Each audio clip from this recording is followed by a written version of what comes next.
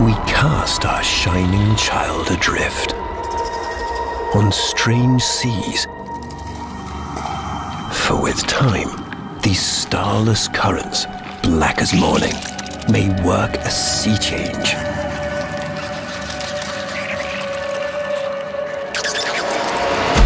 And if one grisly dawn the sky should hurl you, herald-like, back to earth, remind us, Foundling, of what we immaculate ones have lost.